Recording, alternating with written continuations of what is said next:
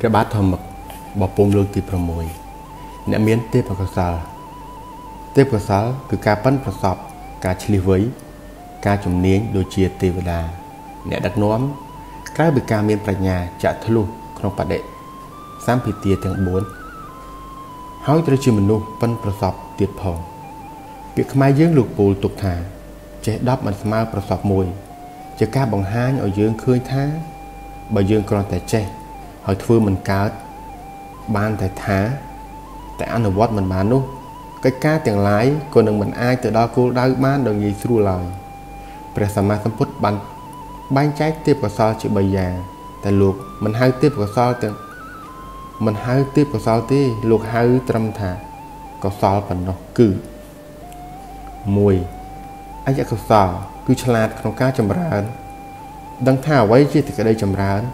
ការលូតលាស់វឌ្ឍនភាពសេចក្តីសុខសេចក្តីទុក្ខរបស់កិច្ចការហេតុការឬវត្ថុណាមួយថា របស់នោះមានការចម្រើនដូចម្ដេចនឹងអ្វីជាប្រភពនៃសេចក្តីចម្រើននោះ2អបាយកសលគឺការឆ្លៀតឆ្លៀវឆ្លាតក្នុងសេចក្តីវិនិច្ឆ័យការចុះអន់ថយសេចក្តីទុក្ខហើយយន្តភាពរបស់កិច្ចការហេតុការឬវត្ថុណាមួយ ថារបស់នោះ មានការចុះអន់ថយដូចម្ដេចនឹងអ្វីជាប្រភពដែលនឹងនាំឲ្យរបស់នោះមានហយន្តភាព តាមធម្មតាក្នុងលោកនេះ តែងតែមានរបស់ជាគូជាគូតិអ្នកតិនិយមៈ dualism ដូចជាសុខទុក្ខសខ្មៅល្អអាក្រក់វិជ្ជមានអវិជ្ជមាន ចម្រើនវិនិច្ឆ័យ ប្រយោជន៍មិនមានប្រយោជន៍អាយកុសល គឺជាការដឹងឆ្លៀវឆ្លាតក្នុងកាក្នុងអវ័យដែលជាផ្នែកល្អដែលមនុស្សចូលចិត្តហើយអបាយកុសលគឺការដឹងក្នុងអវ័យដែលជាផ្នែកមិនល្អដែលមនុស្សមិនចូលចិត្តអ្នកដឹកនាំលុះត្រាតែដឹងនិងប៉ិនប្រសពទាំងពីរយ៉ាងទើបអាចយកការដឹងឬដំណឹងនោះមកធ្វើការសិក្សាដើម្បីរកនៅវិធី